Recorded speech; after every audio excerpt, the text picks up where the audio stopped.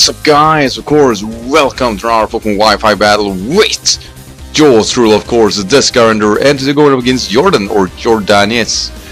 Might have butchered that name more I need to, but uh, yeah, he's another PokeTuber and a fantastic one at that. So I'm gonna link his channel down below, and basically, uh, this is our third round in the Litio tryouts, and of course, you know, want to be a part of that, I want to try it out, I really, really want to show my brawn and I gotta get my own chance to do so. And um, yeah, this is third round, and um, this was a very very tough battle. Um, it really was, and I am yeah, you guys will see. This was 30 turn battles, as you can see from my opponent's side here. Got Excadrill, Infernape, Florges, um, Manectric, Hydreigon, and Frogadier. So very very offensively oriented team with Frogadier and Florges is a potential wall, but that's I think that's about it. Like there's a lot of offensively oriented Pokemon here. And now look at my team. We got Arcanine, Blastoise, Bronzong, Landorus, um, Mandibuzz, and Kyurem Black. And my team is, well, more on the stally side. I got four Pokemon that's really slow and got two Pokemon that's a sweeper that are really, really fast paced. And they have an issue against this kind of Pokemon. So just looking through this team here, I knew I needed to play Stoli, I needed to whittle my opponent down, and I needed to find an opening, and I needed to get rid of Florges, because once Florges was gone, I can just spam Outrage with Kyurem, and uh, yeah, th that's basically my strategy, like, that is the only thing I'm gonna do. So, with all this, my guys, let's go.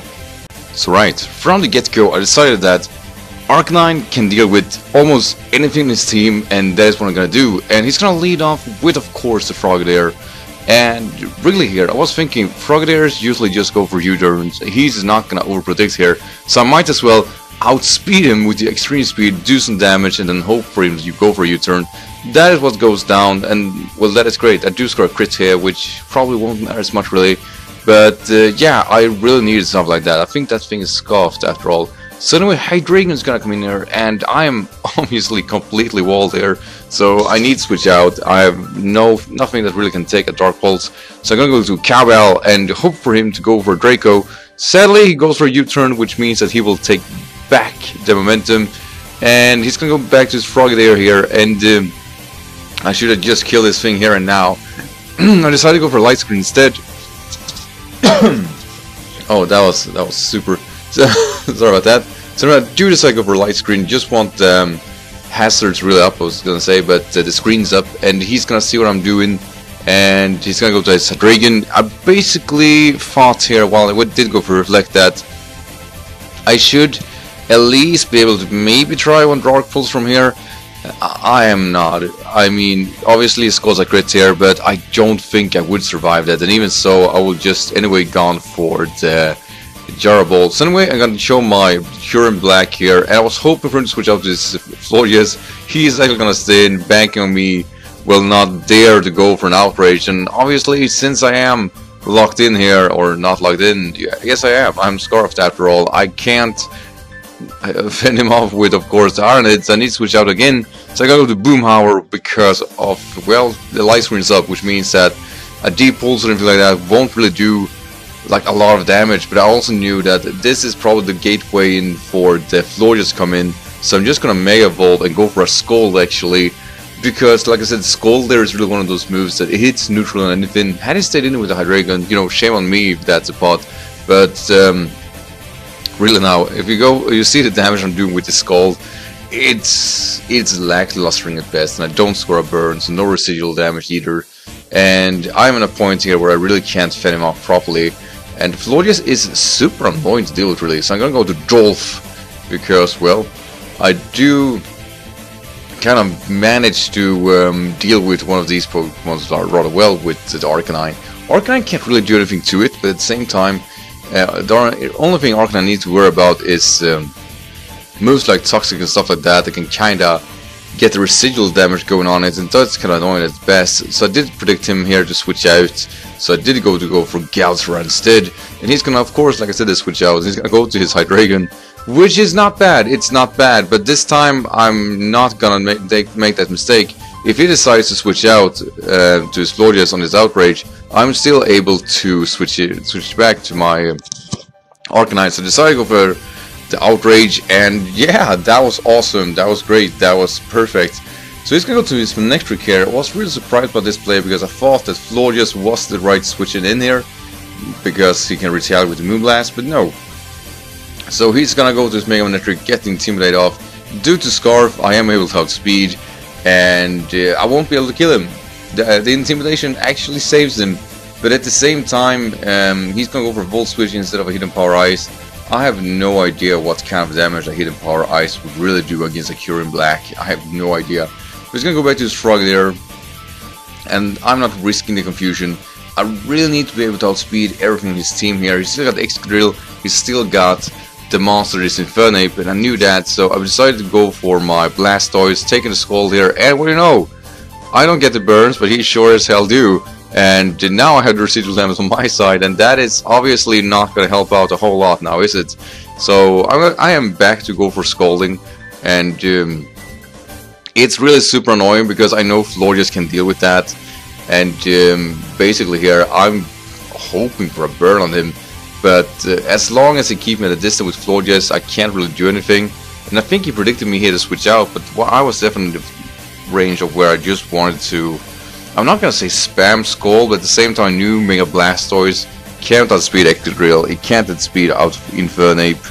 Uh, so at this point, my Blastoise is kinda meh, it's gonna fall, and um, eventually I have further no real use of it. So I'm gonna decide that, you know, I rather get a match up than losing Boomhauer or Blastoise in that process. And um, honestly, it worked well here because I can't go right into Galtara and uh, yeah, I can force myself to go for an Iron Head because I will still take out the Manectric because I'm obviously not locked in. And Florges will be killed by that, so I can force in the Excadrill. And I had that in mind that it could be, and I can't really stress this enough, I was back on this thing being on an air balloon, and luckily for me, that is exactly what happened. So I break the balloon, which means that my ladders can come in. And uh, yeah, that's awesome. That's really all I wanted. So I'm gonna switch out now, go to Griffer. Griffer can definitely deal with this Pokemon. No, no, hands down. Rock Slide, it's not even gonna kill it, but definitely Foul Play will do. So I decided to just go for that. And now I have a matchup that's kind of, you know, I have to really speed this thing up a bit. Because I was basically hoping here that I could kind of force him out. I did not expect Moonblast to do as much damage as it did. So I decided to kind of sack my my Griffer and then uh, get an easy switch into my Landorus to just destroy it.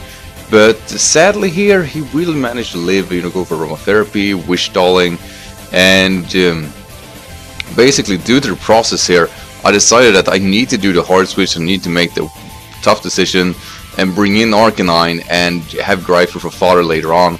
So he's gonna go for Moonblast, and obviously it's not gonna do a whole lot here. I predicted, of course, attack coming my way, and um, yeah, he's back on track. That wish stalling could be the end of me. It really, really can, and I knew that, so I decided that he's gonna stay in now no matter what. So I'm free to go for Flare Blitz. And uh, yeah, I should definitely done this play from get-go because damn, that damage from an uninvested Arcanine, it just did so much damage. Wow, that is some badass damage. And uh, yeah, like I said, there really there was no way for me to really, you know, fending this thing off or anything like that, and that was hardly a point. I just wanted to have some damage on it and force it out. He kind of decided to sack off his Mega Manectric, and uh, that's really fine. Mega Manectric is not a huge threat for me in this battle. Um, I would, honestly, I do feel that Mega Manectric is a very tough Pokemon to deal with, but I had the right Pokemon to deal with it, and uh, that's a rare case. it's really a rare case. So anyway, of course, residual damage from the Toxic is kind of whittling me down here. I can't really stand much longer, and I think my opponent kind of saw that. So I decided here to actually sack off my Griffer because uh, I still need Arcanine to intimidate uh, Infernape and just shut it down really. So Rockstar of course will kill Griffer and here's where I realized one thing and this is gonna make a huge change here. I brought the wrong Landorus. I have one Landorus that is for um, giveaways, and that doesn't have the rock um, rock polish. And I did not realize it until I switched my Landorus in there, and that's really bad. because I can't outspeed either Ex Excadrill or Infernape without that. So my I thought I was going to actually to actually what do you call it to um, start sweeping here. But luckily here I do sing with my Landorus because I predicted him to predict me to switch out to Arcanine. And I'm basically free here to go for Earth Power. And since I have Sludge on this thing I am able to take this guy out too. But I decided to go for Earth Power just for the hell of it. So his last Pokemon is the Infernape. I still have three Pokemon left, Kyurem Black, Arcanine and Landorus but without the um, ooh, what do you call it without rock polish I won't be able to outspeed this thing and I won't potentially break its sash. I decided to go into my Arcanine because I predicted him to go for Flare Blitz or really um what do you call it? Uh, um, well, he did obviously go for Fire Punch, which I did not expect. So anyway, I decided decided here that he could go for close combat. I just wanted to really um, find that out, so I decided to uh, switch back on him. We're just gonna keep going for fire punches, and uh, that really tell me one thing that I was sure this guy was scarfed at this point, and I decided to uh, bring back Dolph yet again. Now his uh, attack is halved, of course, and I decided to go for Morning Sun because, of course, I thought that he was uh, that he was what do you call it? Uh, damn it, that was scarfed. But my opponent is actually, and I can't stress this enough, he is actually focus sashed. And I did not see that one coming. Had I knew that, I would have gone for extreme speed. Luckily for me though, he goes for another fire punch for some reason. And I break his sash here, and now he's gonna switch move. And I was like, oh snap, I could have screwed up myself badly here. I could have really screwed myself up. Like I said there, I did switch out the Landorus back and forth just to really scout that if I could do a play like that. But um, now I know it isn't Scarf, so that's a good thing. But like I said, at the same time, damn, I really, really could have screwed myself over. So my Arcanine or Dolph, what a champ, really, really clinging on. You know, he won every matchup almost he was in, and it was great seeing him in action. So the last Pokemon is of course my own Kyurem, and like I said, they're due to me being Scarf and not him, are going to be able to outspeed, and uh, that is the game. It was definitely, Jordan, really, it was a very, very good game. I liked that a lot. Um, it got much closer than I wanted to, and I did some very, very bad plays, definitely in the end there, and um, it could have really screwed myself over. I think we're even through and through, and I think you got a lot of good things going on your side. I just think my stall game really brought your Pokemon to an end in the, well, when it all was said and done. So yeah, you know, with all said and done, really, I'm definitely like me not having the rock polish made this aspect of this battle very, very, very intimidating for me because I did realize that my opening for a sweep could not happen. It was done. I couldn't do it. I needed to rely on Kyurem to sweep, and I knew that was not going to work if his uh, Infernape was scarfed. And that is why I did the intimidations on it to kind of will it down in some fashion. Luckily for me, it was sashed, and even more so, Luckily, didn't go for close combat against Dark Knight to kind of kill it, since I didn't go for extreme speed to break its sash. It's one of those things that it would have changed the battle so much. So Jordan was just as worth a win as I was, and I hope my fourth round goes better. And I have switched out a lot of things on this team to uh, contradict my stalliness because I do realize that I can't stall uh, against offensive pressure. I just I can't do it. Uh, so anyway guys, I want to thank you for watching of course, and a little small update on the stream to on Saturday. I'm gonna stream a bit early due to Eurovision Song Contest here in Sweden. Or, you know, in the world, Europe.